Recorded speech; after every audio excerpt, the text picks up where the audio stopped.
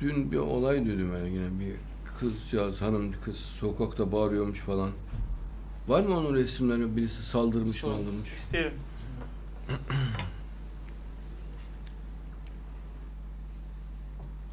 Böyle şeylerde hiç tereddüt etmeyin. Kim olursa olsun.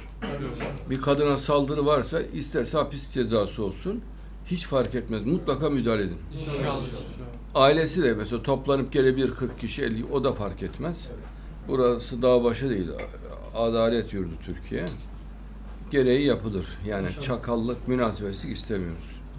Hiçbir kadına zulüm yapılmasını istemiyoruz. Bir de bu çıkıyor ya. Mesela kadın saldırıyor adam sokakta. Adam koruyor, kolluyor. Bakıyorsun 30 kişiyi toplamış geliyor. Hemen organize şubeye yetki verilsin. Bu adamlar geldiğine gideceğine pişman etsinler. Böyle tipleri. Öyle terbiyesizlik olur mu ya? Genç kıza saldırmak ne demek ya? Çok büyük olay. Yani sokaklarda da panik butonu olsun. Mühim şeylerde böyle genç kızlar rahatça haber verebilsin ya vatandaş habere, haber verebilsin. Değil mi? O bölgeye hemen polis gelecek şekilde. Yani kameralı yani panik butonuna basan görülsün ama yakından yüzü. Değil mi? Bassın. O bölgedeki polis hemen oraya intikal etsin.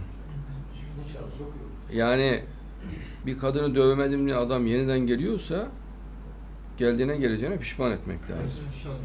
Kanlı hukukla.